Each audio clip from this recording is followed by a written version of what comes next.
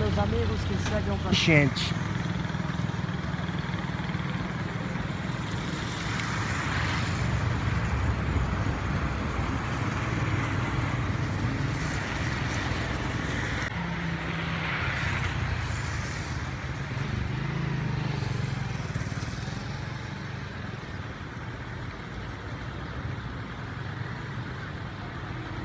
Pessoal, fazia 12 anos que o rio não